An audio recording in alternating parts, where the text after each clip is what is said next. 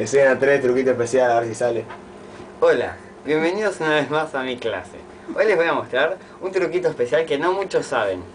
Es tocar afuera de la guitarra. Como verán, a un costado, no, a este no. Acompáñenme al otro. Uh, acá tienen cuerdas sueltas que están afuera de la guitarra. Escuchen.